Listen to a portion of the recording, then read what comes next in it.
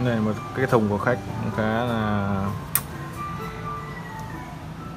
cái thùng ngoài khá là ok.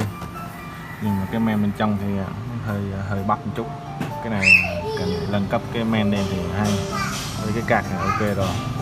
Cái à, quạt à, tản nhiệt này nếu mà thích thì cho một cái tỏa tản nhiệt to hơn một xíu.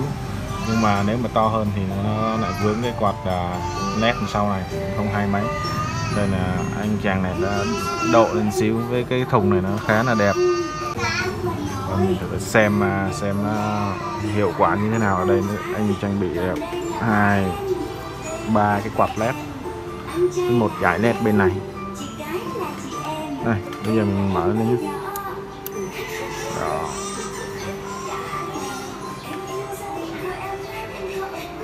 à, đèn led à, chạy theo cái uh, quy trình giống như là Noel vậy. Thì bên này nó sẽ có một cái hộp điều khiển ở, ở phía bên này ở sau cái men này. Nó có, có một cái hộp điều khiển và nó lấy, lấy à, nguồn từ cái à, nguồn CB à, ờ, cái này à, buổi tối thì khá là đẹp ạ.